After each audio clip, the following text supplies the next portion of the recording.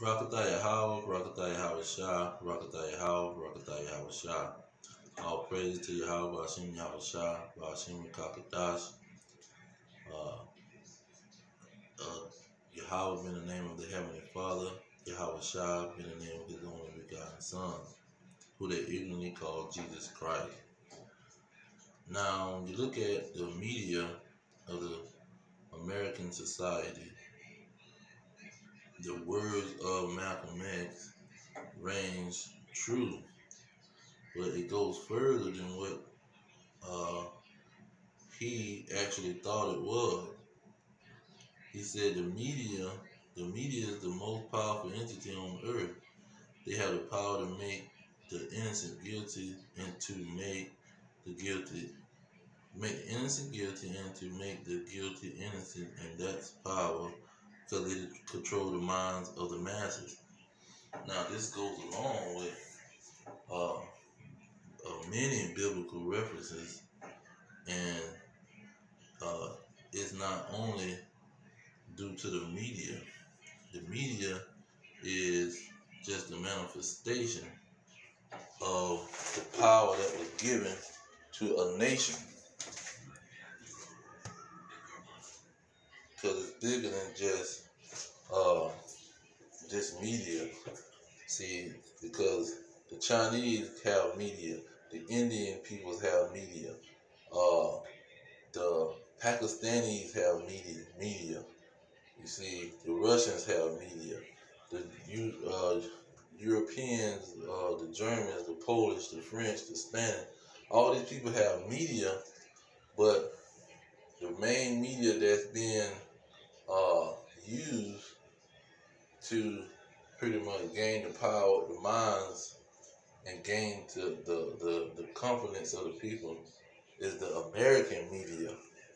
And when you look at Reuters, Reuters is one of the main media outlets, and they have um, like six companies that pretty much operate out of um, the rudder situation. But this all goes back to the scriptures. And it's mainly about the nation that holds this media in their hand. So when you go into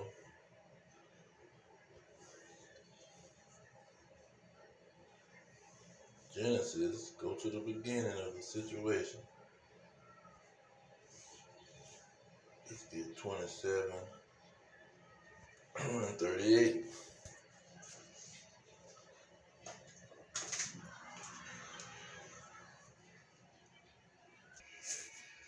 So when you look at this nation that I'm talking about, that's holding the power of the media, verse 30, uh, 8, it says, Esau said unto his father, Has but one blessing, my father? Bless me, even me also, my father. And Esau lifted up his voice and wept. 39 And Isaac his father answered and said unto him, Behold, thy dwelling shall be the fatness of the earth and the dew of heaven from above. Verse 40, it says, And by thy sword thou shalt live. Now, this sword goes into a weapon. And it says, And shall serve thy brother, and it shall come to pass when thou shalt have the dominion, meaning the rulership, that you shall take, that you shall break his yoke from off your neck. So this dominion, this rulership that was given to Esau, is that he would be ruling by the sword. Now this goes along with Revelation chapter 6, verse 4 describing the nation of Edom or the nation of the children of Esau, it says, And there went out another horse that was red, and power was given to him that sat thereon to take peace from the earth. So this power that was given to the nation of Edom is what we experiencing through the media, and it says they shall, and that they shall kill one another. World War One, World War Two, Revolutionary War, Civil War. It says, and there was given unto him a great sword. So a great sword was given to Esau. That's why during when Isaac stated his blessing, it said that thou shalt live by the sword, or by thy sword thou shalt live. So this is what is understood when it comes to Esau, but it's talking about power being given to them. And that power that was given to them, that's what helps them control the media to media or that that's what makes their media successful. Because the Lord has given them power. Now we go into um what 18, 20, 23. It says uh I'm gonna just get the B part. It says for thy merchants were great men of the earth, for by your sorceries were all nations deceived. See, those sorceries is talking about the media. See, they deceive men with their media. Okay?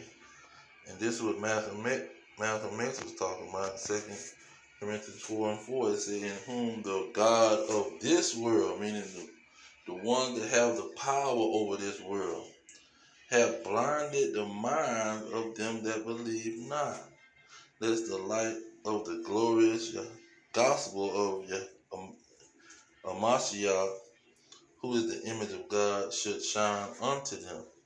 So, this power that rules this world is the nation of Edom. And they are blinding the minds of the people through their media and their television. You see? And so this is what they do. Now when you go into Second Thessalonians, the second chapter, he tells the uh, tell about this nation. He said, verse three, let no man deceive you by any means. And the means that they deceiving people is by the television, the commercials, the movies, the sitcom, uh, the documentaries, anything that they can come up with on that television, the the news, the daily news, the night nightly news, or whatever kind of news, they gonna try to deceive people. And then he he said he goes on to say, for that they shall not come except there come and falling away first, and that the man of sin uh, be revealed, the son of perdition. So he's going to reveal these Edomites. Look at what it says in verse 9. Even him who's coming is after the workings of Satan with all power and signs and lying wonders. See, they're going to have all kind of powerful signs and lying wonders, making people follow them and believe what they're saying because it's, they, you know, it's a bunch of lies. And so pretty much what the next verse, verse 10 is saying, with all deceivableness. See, they're gonna be doing some deceptive things and all deceivableness of unrighteousness in them that perish. So the people that's pretty much uh, not gonna make it, these dragons gonna eat them alive with the media. They're going to totally control them with their media. They're going to believe everything they hear. And so this is going to the fact that the the, uh, the, Edomites, this is what they're doing. And then you got Malachi 1 and 4. It says, whereas Edom talking about the so-called white man. We are impoverished, but we will return and build the desolate places. Thus says the Lord of hosts, they shall build, but I will throw down, and they shall call them in the whole nation of Edom the border of wickedness and the people against the Lord against whom the Lord have indignation forever. So these are the people that um God hating forever due to their lies and due to them uh, being wicked and murderers and liars, rape, robbing, and murdering everybody's land that God gave them. Y'all got your behind in there and you're messing it up. Um, so Malcolm X, he was right on point when he said what he said. This is the most powerful tool Esau and the nation of Esau can use against uh, the prophet, but only the unrighteous will be deceived. That's what it said in Daniel 12 and 10. The wicked shall not understand, but the wise shall have an understanding. And so, um, some people have straight up said it, cut that TV off, because they going to brainwash you and pretty much contaminate your thoughts with their lies. But I'm going to leave it there. All praise to Yahawah, Hashem, Yahawashi, Hashem, Kakadash. The abundance to the elders pushing the truth. Peace to the elect worldwide. Our kingdom is at hand. Shalom.